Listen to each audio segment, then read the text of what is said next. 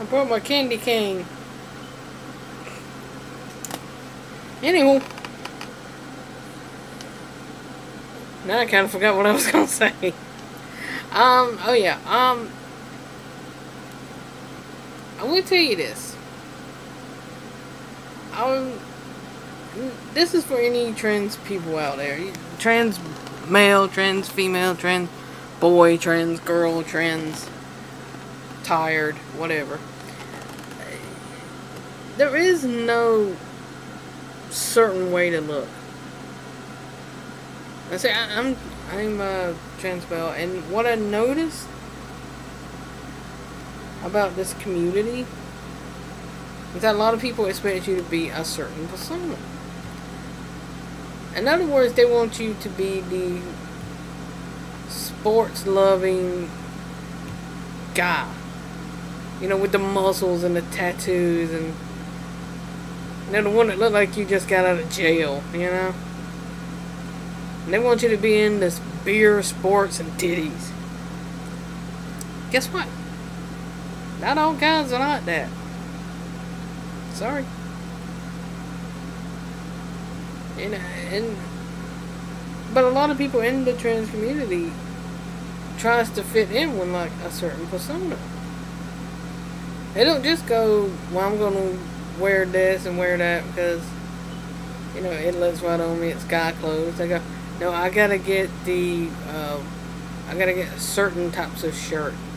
I gotta get shirt that says sports things on them or a Jimi Hendrix shirt. But that's what guys wear.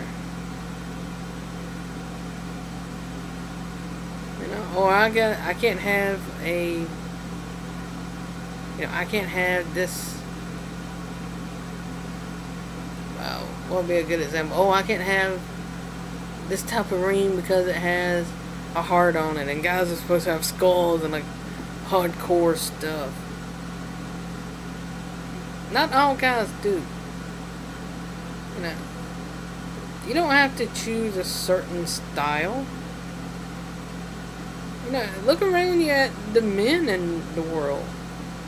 You know, you turn on TV, you don't see guys on acting the same. You see guys who are manly, guys who are jerks, guys who are in between, guys who like sports, guys who like games, guys who like, you know, uh, electronics, guys who like uh, reading. You got classical guys, you got modern guys, you got tech guys. You got um, what I call the Harvard guys or the Yale guys, you know, the guys who um, wear, they don't wear blue jeans, they wear like, um, what they call that stuff? Not lounge clothing, they wear like uh, polo shirts and khaki, you know, like, uh, like golf clothing, you know, that, that sort of yeah, that, that sort of look. They wear that. And, you know, they, some of them wear that. Some of them wear biker clothing and blue jeans. And some, on the other hand, wears clothes like skateboarders do. Or, you know, football, basketball, sports clothing. They don't all dress the same, so why should trans people have to be a certain way? You know, there's a lot of uh, people asking you, oh, are you on the T? Testosterone. Mm, no, I'm not on testosterone. Well, you can't be transgender if you're not on testosterone. Really? Seriously? Because the way I look at it is, people have to realize it, testosterone is a medicine. Right? It's a medicine that has side effects. Not everybody's body can handle side effects, you know. Some people, think of it like this, some people can't take aspirin.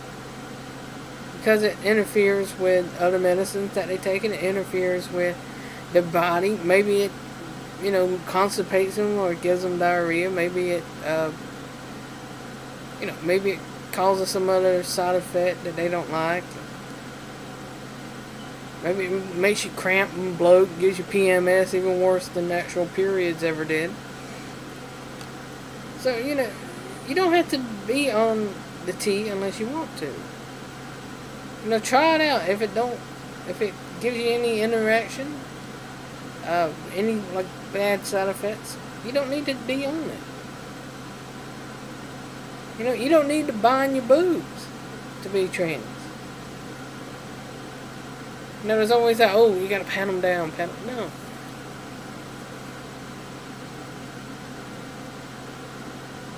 Find a way to, you know, pat them down that you feel comfortable. Know, it, it depends on your boob size, really. Um, some girls wear like a sports bra, some, you know, does stuff like that. But whatever is comfortable. You know, you gotta be in your body 24 hours a day. So you gotta wear something that is comfortable for you. Not what everyone else thinks is comfortable for you.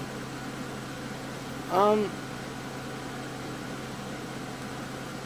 so, uh, you know, and another thing, they say, oh, well, you gotta set pee, you gotta pee standing up, and that's what guys do.